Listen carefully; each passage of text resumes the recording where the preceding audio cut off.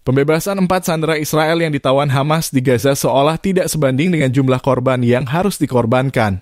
Kementerian Kesehatan yang dikelola Hamas di Gaza mengatakan serangan Israel terhadap sebuah kamp pengungsi yang berhasil menyelamatkan empat sandera telah menewaskan 274 orang, termasuk anak-anak dan warga sipil lainnya.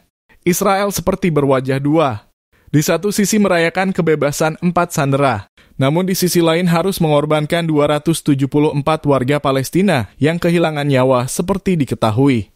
Pada Sabtu 8 Juni 2024, pasukan Israel yang didukung oleh serangan udara terlibat baku tembak sengit dengan Hamas di dalam dan sekitar kamp pengungsi Nusairat dan membebaskan para tawanan. Mereka terdiri dari Noah Argamani, 26 tahun, Almog Mirjan, 22 tahun, Andrei Kozlov, 27 tahun, dan Ziv, 41 tahun, yang diculik dari Festival Musik Nova pada 7 Oktober telah dikembalikan ke Israel. Militer Israel memperkirakan kurang dari 100 orang tewas dalam operasi tersebut. Namun angka-angka terbaru dari Kementerian Kesehatan yang dikelola Hamas di Gaza, jika dikonfirmasi, akan menjadikannya salah satu hari paling mematikan dalam konflik sejauh ini.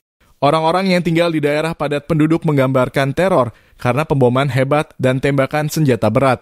Seorang pria Abdel Salam Darwish mengatakan kepada BBC bahwa dia sedang berada di pasar membeli sayuran ketika dia mendengar jet tempur dari atas dan suara tembakan.